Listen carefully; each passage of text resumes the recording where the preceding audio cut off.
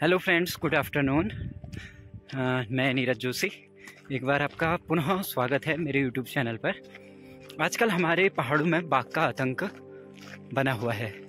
बीच में मैंने आपको अपनी वीडियो में बताया था, हमारी नियरेस्ट ग्राम सभा में एक महिला को बाघ ने मार दिया और कल फिर से एक लड़की को 12 साल की लड़की को बाघ ने अपना निवाला बनाया. तो रोज़ ऐसी खबरें सुनने के बाद मन काफ़ी व्यथित हो जाता है. और आप देख सकते हैं हमारे गाँव की मुख्य सड़क है और चारों ओर आपको जंगल दिखाई देगा। कोई घर नहीं है। अगर कभी घर आने में देर हो जाती है तो जंगल पार करके जाना होता है। रिस्क हमेशा बना रहता है। तेंदुआ और जंगली सुंगर ये सारे खतरनाक जानवर हैं। लेकिन हिम्मत और संघर्ष करना हमेशा छोड़ना नहीं चाहिए। हमें हमेशा अपने आप को ऐसे तैयार करना चाहिए, जैसे हम अपने आप को कठिन से कठिन परिस्थितियों से बाहर निकाल सकें। हमें हमेशा अपने आप को कठिन परिस्थितियों से निपटने के लिए तैयार करना चाहिए। जो लोग सोचते हैं पहाड़ों में जीना बहुत आसान है, वो बिल्कुल गलत सोचते हैं क्योंकि ना तो पहाड़ों में कोई रोज़गार होता है। यदि आप गवर्नमेंट एम्प्लॉयज़ हैं तो ठीक है। अदरवाइज़, पहाड़ों में जीना बहुत रिस्क है क्योंकि खेती होती है नहीं। आप देख सकते हैं ऐसे सूखे पहाड़ हैं ऐसे जहाँ पर बंजर खेत हैं, वहाँ पर खेती होना मुश्किल है। और धीरे धीरे लोगों ने मेहनत करना छोड़ दिया है। पहले से पशुपालन होता था और खेती होती थी। अब सभी ने पशुपालन और खेती करना छोड़ दिया है।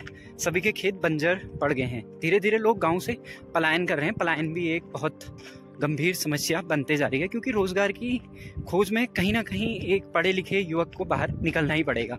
गाँव में उसका जीवन यापन नहीं हो सकता। ऐसी सड़क है, आप देख सकते हैं इतने बड़े बड़े गड्ढे और गड्ढों के बाद भी इतने मोटे मोटे कंकड़ पत्थर।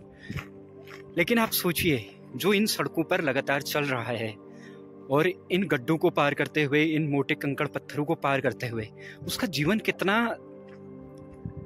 मज़बूत हो जाता है। उसके जीवन में कितनी गंभीर कठिनाइयाँ क्यों ना आ जाए, वो कभी हार नहीं मानता। इसलिए बोला जाता है ना, एक पहाड़ी हमेशा हर किसी कठिनाई से निपटने के लिए हमेशा तैयार रहता है। मैं हमेशा इन मुद्दों पर इसलिए बात करता हूँ ताकि आप लोग समझ सकें कि पहाड़ों पर जीना कितना कठिन है। क्योंकि मैं भूगोल का छात्र हूँ और हमेशा मैं नेचर को समझने की कोशिश करता हूँ, उसको जानने की कोशिश करता हूँ। जो हमारे प्राकृतिक संसाधन हैं, उनको कैसे हम लोग यूज़ करें? यानी सस्टेनेबल डेवलपमेंट सतत उपयोग उसका कैसे किया जाए? इन मुद्दों पर हमेशा बात करता हूँ। लेकिन ये जो आपदाएँ हैं आपने कभी सोचा है इतने सुंदर पहाड़ और प्रकृति को तो माँ बोला जाता है, वो क्यों बस हो जाती है? इतना मनुष्य को कष्ट देने के लिए मैं बात कर रहा हूँ आपदाओं की। आपदाएँ इसीलिए आती हैं, उसके जिम्मेदार हम स्वयं मानव हैं। हमने अपने काम के लिए सारा जंगल खत्म कर दिया, पेड़ों को काट दिया, जंगलों में आग लग जाती है तो उससे बायोडाइवर्सिटी को कितना लॉस होता है? और नेचर को कितना उससे डैमेज होता है, ये हम कभी नहीं सोचते। पेड़ों को काटने से जल स्रोत सूख जाते हैं और आप सोच सकते हैं, अगर जल स्रोत सूख जाएँगे तो मानव जीवन क्या संभव रह पाएगा? तो आप सभी हमेशा कोशिश कीजिए अपने आसपास नेचर को कंजर्व करने की पेड़ पौधों को लगाने की।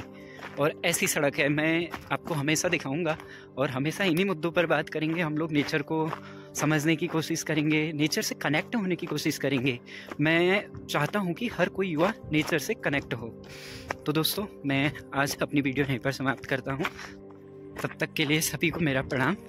आप मेरे वीडियो को यदि देखते हैं पूरी तो वीडियो को प्लीज़ लाइक और वीडियो में कमेंट करना ना भूलें। Thank you so much